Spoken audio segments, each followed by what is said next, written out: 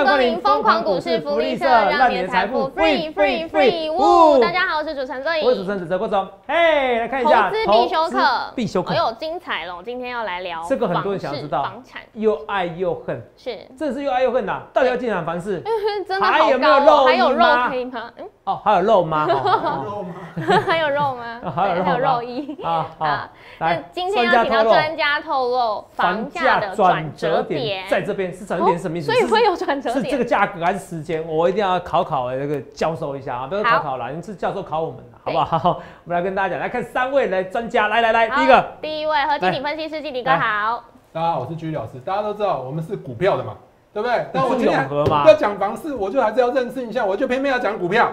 对，大家最近都在看什么？看什么？元宇宙嘛。哦，对。哎，还这看这看着还不知道。我以为是天天马来我以为是圣斗士星矢。对啊，我也在想啊。带了这个，哎，对啊，燃烧我的，我燃烧了我的小宇宙。我一直带了这个燃烧我的小宇宙之后，哦，原来这样子，你再讲一下，你都没讲这句台词。我说干嘛天马流星拳？啊，你不懂啊？是，因为我燃烧了我的小宇宙，带大家。看到新的元宇宙世界，大家只看到宏达电、威盛跟阳明光。我告诉大家，我又看到另外一档了。嗯，什么？大学光，因为一直戴着，一直戴着，大家会近视眼，还有青光眼。迷哦。所以要去镭射眼睛。啊，这跟房地产有关系吗？没关系，我只跟大家讲元宇宙，我就故意就是要告到元宇宙的下股票的。哎，那个昆仑哦，下一位是昆仑，昆仑不觉得给昆仑介绍一下？我觉得昆仑很不公平，啊，画面都给他就好了，好来。好，陈昆仑分析师，大家好。好，主持人好，大家好。哎，一定要抢镜头。你抢的成功。对房地产有什么想法？是有没有进军房地产？我很想买，我想，我想，我想换房，因为小朋友快长大了，那就那个还是要在更大空间。哦，元宇宙吗？因为对元宇宙未来。就烧给他，好不然他会呸呸呸。我没有说，我说他在这个世界买房，在这界买也很贵。哎，韩国就这样子啊，打房打到打不下去啊，就买元宇宙的股票，元宇宙房地产啊，好不好？这个应该那个教授最有观念吧，好不好？我们第三位问一下，来，我们台在现在在在这边讲还是上去讲？好好，那我们就直接欢迎聂教授。我直接上去噻。好。好，那我现在就。来跟大家稍微闲聊一下哈，是。那个基本上我今天刚才在这边坐了好久啊，然后一直在听前面两位分析师、两位帅哥讲的一些故事啊，其实我也学很多东西啊。嗯，我必须说明一下，其实我们财经教授，我们偏重的是比较是，好随着教授您过来一点点，OK。其实我们反而偏重的是比较是股市的投资，好，我们教人家怎么基本分析啊，或者一些技术分析。但是房地产实际上还不属于财经系，它是产业经济的，或者可能跟我的兴趣有关。不过是先声明一下，刚刚主持人有讲到一个重点，就是说房地产很多人又爱又恨，对不对？其实股市也很多人又爱又恨。而且我分析啊，股市是一个短波操作，它风险是很高的，其实比房地产还高。房地产趋势就我来讲，其实房地产趋势很好抓。嗯。那至于房地产趋势，但是它比较有一个问题，就是它是重大投资，所以一个人一生可能买不了太多房子，所以你资本非常雄厚。或者你有很好关系，就比如你用贷款诸如此类的，所以我觉得房地产你好好的仔细的去了解一下这个市场不难。那刚刚讲到转折点，实际上随着转折点，以目前台湾的现况，你要让它转折点，实际上有它的困难度。为什么？我们所谓的转折可能是从下到上或从上到下，它其实是一个持续向上，顶多是什么时候稍微停平摆，然后呢再往上，顶多是这个样子而已，好不好？好，那我们来简单分析一下。好，那我们看一下台湾的房市哈。这个台湾房市的现况，我们大家都知道，人口比较密集的都会或者地区有没有？那房市的刚性需求是存在的，它而且是永远存在。那什么是刚性需求？我想这个大家去了解一下就知道。那么因为大家就是需要房子去住嘛，哈。那重点就是当这个呃政府呢就开始需要用一些政策啊来维稳这个房市。那当然他们所谓的打压房市啊，但实际上打压是希望价格能够维稳，然后让这个所谓的住者有其屋。那当然这个政策这个施予就是必然的，对不对？可这个政策寄出之后，重点是它有没有对症下药啊？我讲这个下药有没有对症，这个很重要。是，实际上很多人就在问，哎，这个房价打回去了。那会不会这个房价是不是有可能打回到大家买得起的这个位置？那跟大家报告一下，基本上很难。那我们知道杨金龙呃今年也讲了一些话，那在什么时候呢？就在今年九月的时候呢。好，那九月份在九月底有一个会议嘛，哈，当有委员问这个呃我们的呃之前的行长说，哎，那现在很多人民众关心啊，这个价格有没有回复，有没有办法回复到大家买得起的价位？那答案当然就是。其实就不可能嘛，台湾的房，台湾房价薪资比在全世界亚洲是指以前只处于香港第二高，而且还还没有算那个虚平哦。对，没有错。台湾这个讲这个虚平这个是，就我们台湾都很诟病的啦。你去日本买房，去买下房买房，你会发觉没有属于虚平，住一百平一百平啊，买一百平还不止，它是必星十平是挖墙壁的中间的，它还不会连外面都算进来，它是非常实在，而且阳台呀什么中庭都大致送，你知道吗？它还是一样有一些公司它就送你。所以我跟你讲，在台湾这个所谓的平啊，尤其买新屋啊，你一定要注意这个平数。你买到的时候，实际上你可能只买到了是三分之二，甚至更低。好，那我再回来讲一下。这个对症下药打的是什么东西？就是说一般人，当然一般的小民众啊，我讲普民最希望是回复到原来的价格，让大家可买。所以当委员问到了啊，这个央行行长说会不会回复的时候，他很简单一句话说：这目标太难。我想还是上页好不好？他讲这目标很难，一直都没有办法达到。好，那这个答案非常清楚。好，那有没有办法达到？大家，我想大家都心知肚明。所以呢，你现在发现现在年轻人真的非常难买房。因为年轻人的收入，除非你非常有专业，或者你在某一些呃这个机构有非常这个高的这个这个什么业务奖金诸如此类，否则现在的房价薪资比双北有十四点多，全台湾是九点多。你去看一下全世界的报道，台湾真的是 rank 在非常前面。好，这个是一个重点。那再就是现在年轻人靠什么买房呢？他没办法买的时候，你会发现都是涨一倍或再涨涨的一倍啊。当时这个台湾在最经济复苏、台湾前烟角木的那个年代的父母，他。都有房子我们讲台北市都是有主人的。我懂的，这些都是年纪长的主人。要买房地产，这两个，一个是靠涨一倍的，一个是靠股价涨一倍。那好，再买房地产没办法，是没有人笑话。是是，我想说啊，这个你说买这就不叫买，就可能是接续以后这接续这个这个呃，他呃负十倍或者呃爷十倍他的房子了。现在我觉得现在年轻人有很多是这样，但要看自己呃如何去呃，当你家里如果不是一个就已经可以留产资产给你的人，你要怎么样去看好？房市的未来，我觉得这个就非常重要了。好，那我们现在再往下看一下哈。那么刚刚讲这个哈，人家说，哎，到底有能不能回复原来的位呃的位阶，让大家可以买？当然，他说这目标很难，一直都无法达到。可是，那你为什么还要频频出招做所谓的打房政策呢？其实答案非常简单，因为这里面房价在你把它炒高之上哈，我们讲用这个字叫炒。为什么会炒？就是有一些所谓的短期操作的短操投资客，嗯或者他资金就算不够，他看得到他是有一个市场的宏观或者先期趋势，能够看得到市场走势的人，他可以用。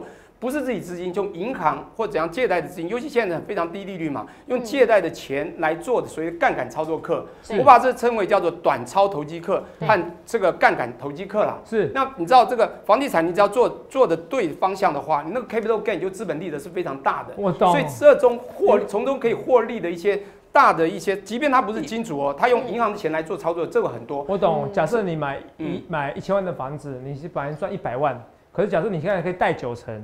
你变成是一百万赚一百万的，对，那就变一百 percent 的报酬率，百分之十 percent 变一百 percent 的报酬率。对，十万就赚呃一百万赚到一千万，这样诸如此类，呃就是不是就是呃你如果是一百赚了一百万，你实际上贷只有一百万，你就是赚这个百分之百，反正赚十 percent 变一百 percent，没有错，对，就是这样的一个感觉，所以你这杠杆操作嘛，就倍数放大啊，这比买那个期货所谓的你只是缴五趴的这种保证金诸如此类放大几十倍，有时候啊你用杠杆操作，你去银行借贷，你可能这个。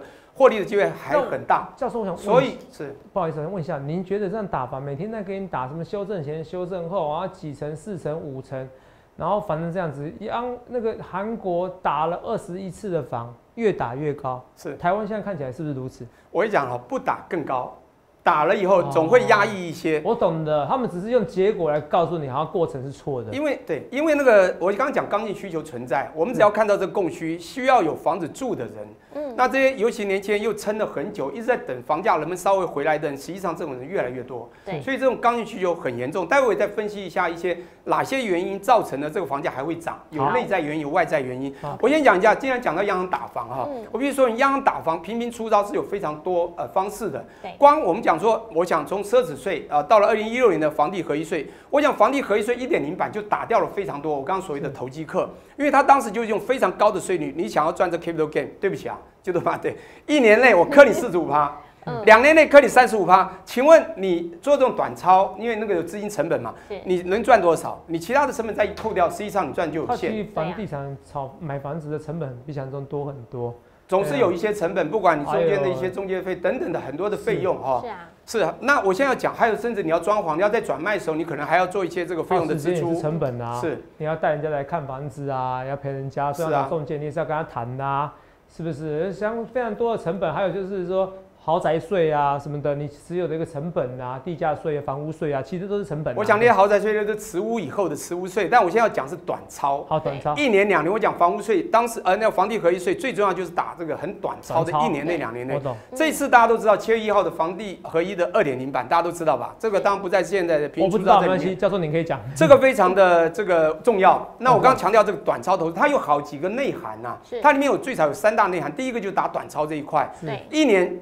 延长到两年，你交四十五趴，那你刚刚讲的其他费用扣掉，你再拿掉 capital gain 的四十五趴，其实你赚的有限。嗯，两年的把你延长到五年，也就是原来你可以撑个一年少缴一点，或者撑两年之后。你只要缴二十八的人，现在你要撑五年，可是那你有多少资金我有问题啊，那问说就是一年内卖房子是四十五 percent，是净利的四十五 percent 啊，可以扣除掉这些成本不是吗？现在是净利没有错啊，对啊，没有净，但是你净利四十五 percent 拿掉之后，你其他还有很多的费用，你有些还要算掉。不是先扣掉吗？没有，先扣掉，但你扣掉之后，你有的可以扣，有的不能扣，有些成本你不可能算去算得进去，在你在先预扣的部分。哦，我懂。好，那不管怎么说，就算你扣掉大部分，你剩下的拿四十五趴，你剩下的可能就比较少了。是，那是。再扣掉四五趴，那你时间、精力啊这些其他的持有人，你还是划不来。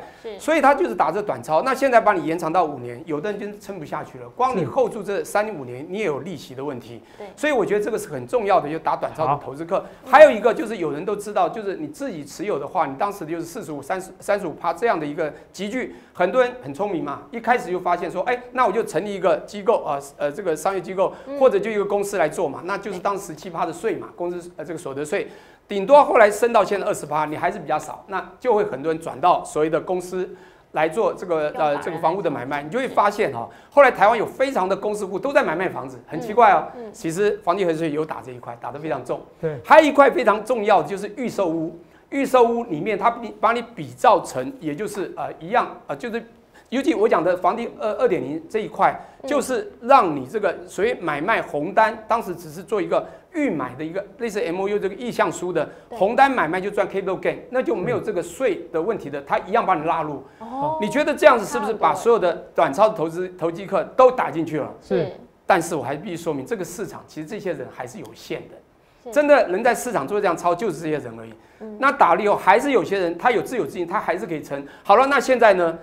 政府它有另外一种叫做啊，也就是呃呃选择性信用贷款。现在各位看到这个荧幕上的这些，不管是第二户啊、第几户或者自然人或者公司法人有没有？这些不管第几户，它都会从原来修正前的四成，当然有的不变，对不对？它有一些考量了哈。那在有一些就从呃比较这个高的六成五呢变成六，那五呢呢呃这五点五的变成五，诸如此类的。这是最近的一次呃这个出招，在之前呢也是一直从这个所谓的七打到六打到五是这个样子。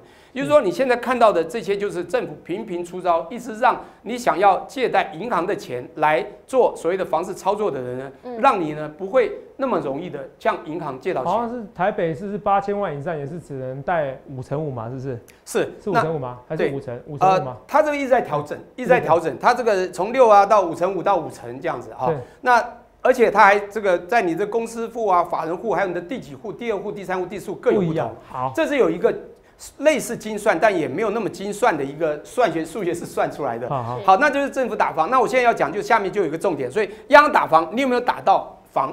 那有打到什么？打到炒房。你看，我们只打到炒房，但是你对房价是没有办法真正打到的，这就是重点。也就是说，大家说，哎，那我们还是想买房子，那你一直打，只打到了一些投机客出场，房价还是在涨，那我们怎么办？那没办法，所以央行那个行长才会讲出那句话，这个目标真的很难。好，那我们看下一页哈。那台湾房市的未来怎么办呢？我这样分析啊，以最少目前的状况。你想台湾啊，土地稀有性，我想大家都知道，台湾就这样子嘛，因为蛋黄地，你像台北市就分这几区，因为中心这几区，你怎么去买到地？建商只要有，我跟你讲，真正裂地抢建啊，嗯，你不觉得吗？所以这个时候土地价格，你看你在标价，有时候你会很突兀，怎么那么高啊？有高到这个样子吗？因为如果这个地够大，很多台湾有很大的一些财团就会去裂地，然后抢建。这时候你会发现土地价格一直飙高，越来越高，因为它是标价的。对，那你标价完以后，你你要卖，你要卖，你这个标这个这个，比如这个已经标了三百亿了，你平均算一算，你这个成本可能这个房价就要一百万，那怎么办？那周遭的土地也一起涨了。是啊，除了这样，我先讲就是土地的稀有性造成这个地有限嘛，哈，有地是有财，所以它就会转嫁到民众，所以这转嫁民众这个就变成了让这房价你飞高就会高了，呃，这一定就会高。那第二个呢，就是观望等待这个持平，呃，这个价格持平再进去的台湾县的人去看这这个供需市场，这个现在绝对有所谓的超额需求的状况，就 excess demand for 这个 housing 然后，所以你就会发现很多人说啊，糟糕，这个房价看起来没有最高哎，只有更高。可是有些人说现在少子化了，会不会像日本？啊，这个我要最后讲，这个我讲最后好不好？这个主持人跳得很快，我先讲最后一章好不好？我会补充一些。讲未来，我们还有更多的更远的未来。我想现在状况的目前的短期未来，是还有一个东西，他们就会认为说买不起，你还是得买啊，你还是要住啊。所以在某些这个呃心态之下，你就有刚性需求的存在，这是一个很重要的原因。是。那第二个再来外在因素，各位想一下，从二零一八年三月二十二号中美贸易战或美洲贸易战大国博弈之后。一路走来，世界有多少东西被打乱掉？再来，COVID-19 啊，这个更严重。这疫情蔓延啊，到现在，各位，全世界有最少三样东西：一个劳动力啊，已经非常多的断层，就所谓断裂；第二个，资本财也很多的断裂。我们更重要的，刚刚有几个分析股市，你就知道很多的电子产业里面就有所谓的科技链的断裂。为什么有些股市会涨这么高？为什么晶圆片将来会好像供应最少在未来是看不到位底的？就是因为这个所谓的断链的问题，供应链断裂，产业供应链真的断到所有的东西都会涨价。我跟你讲，很重要就是房地产的建材的一些原物料涨价，建材涨价，但是都已经稀缺了，你就会发现这很严重哦，供需失衡，价格就飙涨。这时候一飙涨的时候，我跟你讲，那建筑成本一推升，那怎么办？那再加上还有一个很重要，就是疫情有没有？疫情刚开始大家都很惶恐，不敢出门。可是它有回复性的需求，还有一个更严重的报复性，不过报复性比较短暂，未来还是要回复你的所有的民生必须的十一住行东西，这些东西都会让房价随之起舞。你分析一下这些东西所有的内在外在因素，你说房子在最近的几年内会跌吗？很难，会转折吗？等一下我再讲什么时候可能会有转折的时候。什么时候？好，那待会再说。好，我们先讲台湾现在适合买房吗？什么时候该是最好的时点？买股票一样有择时择股。我讲房子一样有择时，这更重要。当然择股就是看你要买套房、买什么公寓或什么的哈。好，那我们讲时点，我们先看一下，还有一个很重要的外在因素。其实你观察这个，你就比较容易知道时点。全世界所有东西，我认为会影响到大的一些资本财的东西，最影响的这个变数就是利率。货币市场的第一个重要要素就是利率。那全世界的这个呃 benchmark 就是利率的指标，就是 Federal Fund Rate。大家知道美国联邦基准利率。那大家知道 Fed 最近除了我们讲利率降息，就是为了这个市场景气刺激，是是，它是一个吃补补药的状况。它传统的货币政策，可是有个 QE 哦。Q E 是什么东西？对，大家知道哈，就是呃量化宽松。现在大家谈的都不是利息上升，所以短期还是不可能降价。是。那短期谈的是所谓的资金太多的洪流可能会收回去的，就是 Q E 的缩表。那缩表呢？每个月的 open ended 无结尾的这个所谓的 open ended quantity easing。它现在也不是一千两百亿全部收完，你去看二零一四年是收了十个月才从八百五十亿收到零，他一样是慢慢收，所以资金会慢慢回流。当然，资金也是造成房价起来的一个部分的重要原因。当股市是最容易呃受到影响。是，但股市我觉得当然我会认为再过半年要小心一点。教授，因为时间差不多，因为很多人想知道重点，这个其实我们之前都有教过，不好意思。OK，想要问一下个问题，这个先准备是问了。第一个问题就是说，因为 QE 大家知道，可是问题大家想要知道是说，那 QE 完以后呢？所以你觉得是 Q 完以后，或者说结束完以后升息的时候才是时买买房的时机点？好，那我讲一讲时间，所以时间一下就到了，是对，没错，差不多。您继续说，还有几分钟，没关系，您继续说。好，那啊，跟各位报告一下，那个。我讲美国就有两波嘛，特效药一定先来，特效药完了以后才会做升息的动作，升息就会影响到整个全世界的房市了。那我先讲一下，升息还要看升息到什么阶段。是，你现在开始是零到零点二五这样子升，当全世界都会加一些码，你升到了这零点五到零点七五，我觉得影响都还有限。但是如果升到像二零一八一九之后，马上升到一点五、一点七五，就有可能会影响。当然，如果景气大好，升到很快，就会很快的影响。我先声明一下，全世界都认为这个利息有可能最早的是升息是二零零三、二零二三才可能会开始做升级动作。是，可现在提前了，大家都也听说了，也可能会在二零二二年中了。当这个都要看 Fed 方瑞 Fed 呃这个 Fed 他们在开会。那明年中如果真的升息，它只是微微顶多是一码一码开始。我觉得二零二三年到二零二五年可能也不是下降而是应该就会稍微持平。然后未来还是有很多会推涨的可能性，所以我认为我现在观看二零二三年，可能这个时点会比较持平。那么当然还有我们现在原物料短缺，那么多了，是不是？也就是二零二三年。现在你看，如果你现在不买到二零二三还会涨哦，都不会下滑。但是到二零二三年，可能我觉得会微微在利息提高以及产业稍微这个所谓的完美分工又结合之后，那么我们的这个所谓原物料的价格稍微回稳了，因为回稳之后会稍微回来一点。可是二零二年是涨了一年啊，二零二三年你跌又不一定。跌幅又不一定可以，你不可能跌很多，这个会像二零一八年底、二零一九年一样稍跌再回来。听这样讲，但最适合买房就是现在啊，就是 right now。因为你，因为你二二零二二年还是会涨啊，二零二三年可能会跌，可是你说跌不会很多啊，中长期二零二四年还是拉。对，如果你拉长看整个市场房子，的确是这样。所以买房子就现在。所以现在到二零对二零二二年可能还会涨一点，但二零二三年有可能会回稳一些。可是你也不知道它回稳多少，可是也不会太大。没有错，这就是我们讲的供需整个市场。要买在二零二三年之前，之后还会涨。基本上我这样子建议就是说，当然你现在可以买，很多人都讲嘛，这个你持有房子，将来就会有好的未来，就这样。好，看清楚。所以影响房价最重要的利率，可是利率只是短期的哦。那大家少子化不会影响吗？少子化会好，我就会讲一个哈。其实让你看到，在我们台湾的未来是很可怕的。我们都知道高龄化，甚至 super age 就是超高龄化的未来很快就会到来。这个的确会让台湾，我们刚讲超额需求，到未来会有超。现在已经生不如死了。所以现在有很多可能会换房，也就是老屋。老屋要选择要小心，换的老屋，如果你换的老屋又没有地，你可能就没有价值，因为老屋就会没有用。很多人会想住新房，但如果换的老屋有地，你可能有更好的未来。因为当然你要看地目啦，你可能商山地、商四地，你将来随着。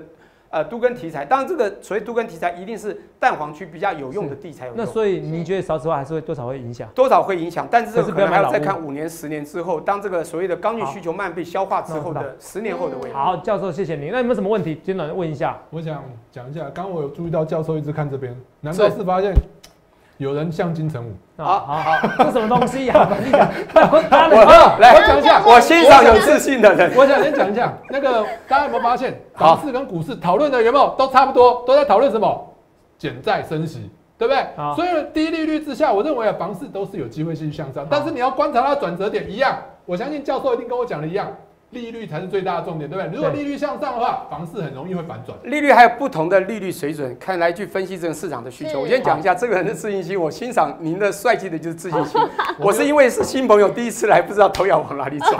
对啊，好，那就谢谢啊，谢谢教授，好，谢谢啊。其实今天节目很精彩，现在今天盘市还有肉吗？专家透露，房价转折点在这边，好不好？那转折点就告诉你，其实哦。应该是要买，差不多是现在啦。因为其实虽然升息会降一点房价啦，对，如果是自用的话，真的是趁早买。就是自用，你没有太大的借贷的投资的话，没有借贷的压力的话，好不好？所以是这样子啊，这个是蛮好像很多同学们不想听的结果哈，好 好不好？好，结果这啊，什么是不想听的结果？就是房价会一直涨啊，好像是这样子啊。所以那个我们来看一下，我们放股市福利社啊，现在今天礼拜四哦，二四是教学，一三五是解盘，比较贴近盘面的哦，然后。比较偏更更深入股票的，每周一晚每周一到周五晚间八点准时上线。要记得订阅我们频道，最后喊一下口号。谢谢光临疯狂股市福利社，让你的财富 free free free。呜，怎么这样子？哎，这个七月半已经过了，那你不要吓我。你有没有感觉到台股硬硬的？有没有感觉到泽泽不不不，台股硬硬的？福利社提前告诉你，追最高，杀最低，先有改掉这坏毛病。疯狂不是福利社，你的财富 free free free。OK，想要更好的生活，该如何财富自由？谁能快点告诉我？原地踏步，有机会错过，怎么打破？他没有输，他最后没有输，他是倒跑的，他绕跑，他输了，他没有输，大哥是掉了，大哥没有输。左右，买就喷，买就跳，交易之前要看利息。